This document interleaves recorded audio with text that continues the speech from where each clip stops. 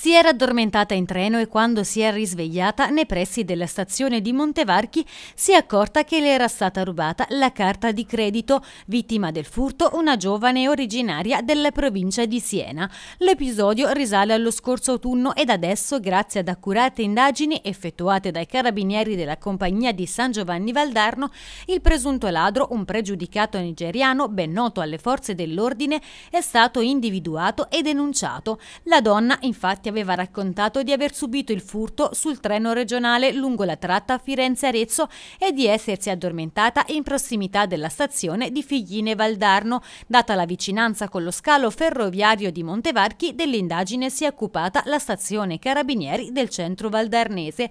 Gli investigatori hanno così portato avanti indagini a 360 gradi e sono riusciti anche a ricostruire una serie di transazioni effettuate proprio a Montevarchi.